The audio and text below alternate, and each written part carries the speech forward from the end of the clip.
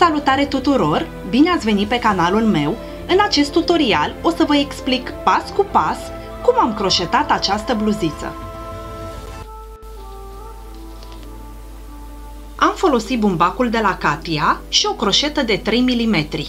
Doar pentru lanțul de început am utilizat croșeta de 3,5 mm.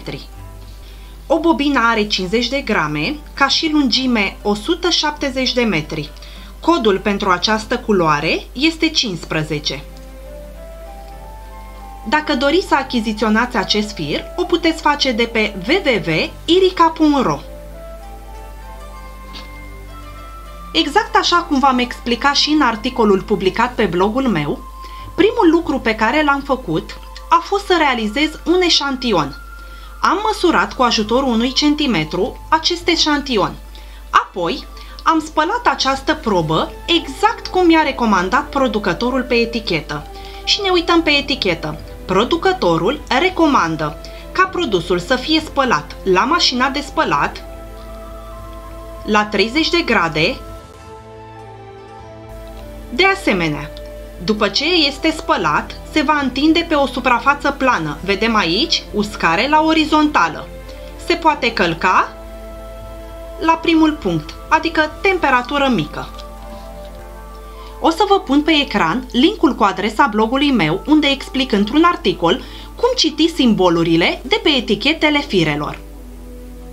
Așadar, am spălat și am uscat proba. După ce s-a uscat, am măsurat eșantionul din nou. A intrat foarte puțin la apă. De obicei, bumbacul intră foarte puțin la apă. Am luat o bluziță, de asemenea croșetată, care îmi vine foarte bine și am măsurat-o. Așa am știut de câți centimetri am nevoie. Astfel, mi-am dat seama cu câte ochiuri trebuie să încep noua bluziță. Pentru această bluză am folosit modelul 33 din seria 100 de modele de croșetat. O să pun pe ecran linkul către model. De asemenea, în playlistul bluziței voi insera și tutorialul cu acest model. Pentru mărimea mea, pentru mărimea M, am considerat că trebuie să încep cu un lanț de 97 de ochiuri. Pentru a realiza acest model, avem nevoie de un multiplu de 12 ochiuri plus 1. Un raport este format din 12 ochiuri. După cum se poate observa, pe orizontală, raportul meu se repetă de 8 ori. 8 înmulțit cu 12, 96. Adăugăm acel ochi în plus, 97. Spatele. Spatele bluziței are o lungime de 50 de centimetri și o înălțime de 55 de centimetri. Am 8 grupuri pe orizontală și 15 grupuri pe verticală. Așa cum v-am spus și la începutul tutorialului, lanțul de început l-am croșetat cu 3,5 mm, iar apoi am continuat cu o croșetă de 3 mm. Înainte de a începe modelul, am făcut un prim rând cu piciorușe simple. Am avut la primul rând 97 de piciorușe simple. După ce am terminat spatele bluziței, am continuat cu fața. Și vedeți, mi-am făcut aici un eșantion din hârtie. Exact așa arată fața mea. Bineînțeles că am început cu același număr de ochiuri, respectiv 97.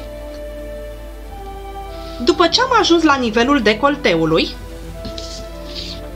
mi-am oprit în partea dreaptă trei rapoarte, primul, al doilea, al treilea, și am continuat, probând în același timp să văd dacă îmi vine bine, până la înălțimea umărului.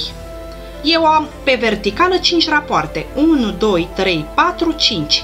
Dumneavoastră probați, este posibil să fie nevoie de mai multe sau de mai puține în funcție de mărimea voastră. După ce am terminat în partea dreaptă, m-am prins tot pe fața lucrului, exact aici. Am sărit două rapoarte și m-am prins cu croșeta și am făcut și în partea stângă, exact ca în partea dreaptă. Am 3 rapoarte pe orizontală, 5 rapoarte pe verticală. și astfel a rezultat decolteul. Din cele 8 rapoarte, 3 au rămas în partea dreaptă, 3 au rămas în partea stângă și 2 libere pe mijloc. În continuare, voi pune bluzița mea exact așa cum vedeți în imagine, cu dosul spre mine, fața și spatele și cu ajutorul unui ac voi prinde în patru puncte, pentru că eu vreau să fie umărul gol. Dacă nu doriți să fie umărul gol, atunci prindeți de aici și până aici și apoi și în partea cealaltă la fel. Dacă doriți să fie umărul gol, prindeți exact aici, în cele două puncte, spatele de față, aici, în partea aceasta și, bineînțeles, aici.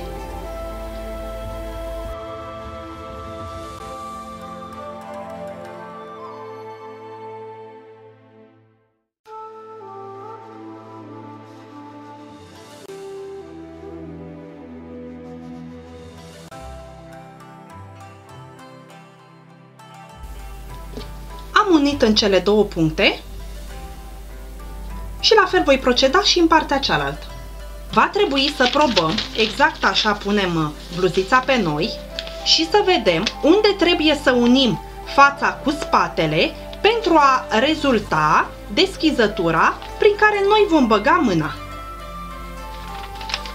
Am probat și în cazul meu am pus marcatorul exact în acest punct unde am început să merg în partea dreaptă cu cele trei grupuri pe orizontală, în dreptul decolteului.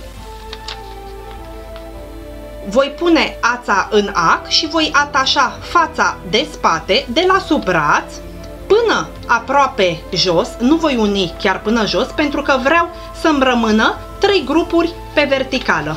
Deci voi uni cam până aici. Vreau să rămână așa. Am întors bluzița pe dos, sus aici vine umărul și număr 1, 2, 3, 4, 5. La sfârșitul celui de-al cincilea grup, de asemenea pe partea cealaltă, 1, 2, 3, 4, 5 și încep să cos.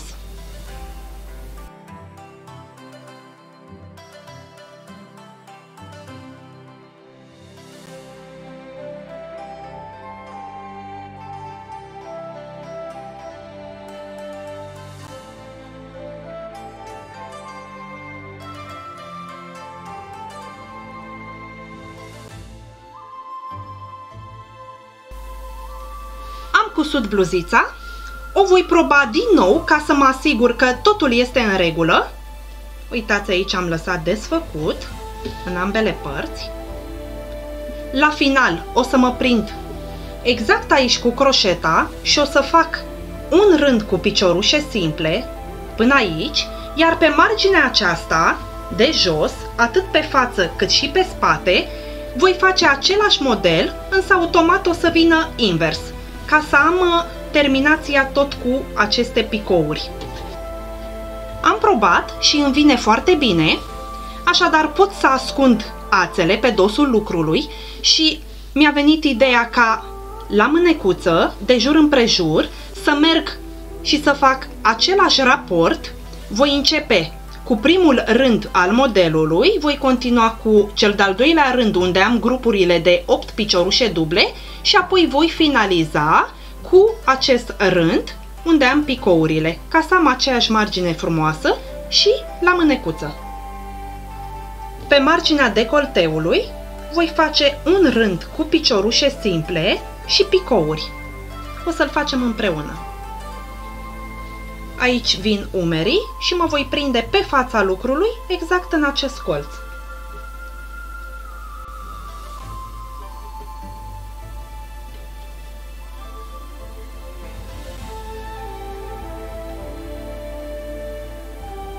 trag firul, jeteu, îl trag prin acest ochi.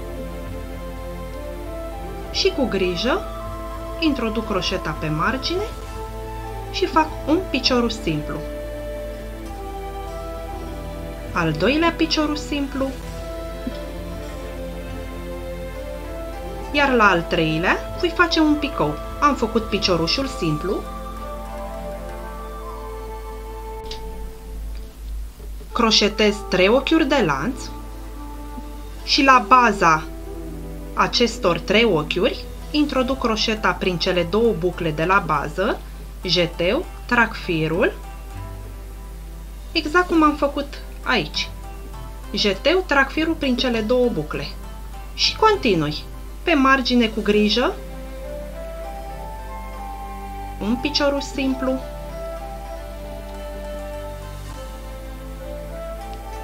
al doilea piciorul simplu, iar la al treilea voi face un nou picou.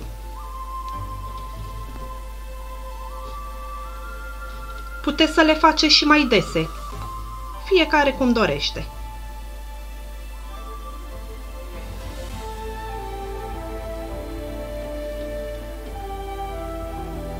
Și din nou continui, cu grijă când apucăm să nu fie o sing- un singur fir, să aibă stabilitate. Încercați să introduceți croșeta să prindeți două fire de pe margine. 2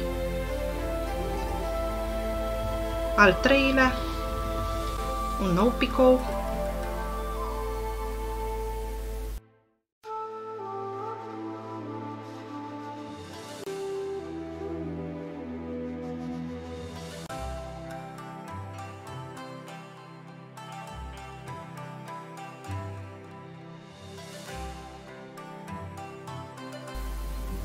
Ia uitați ce frumoasă este margine.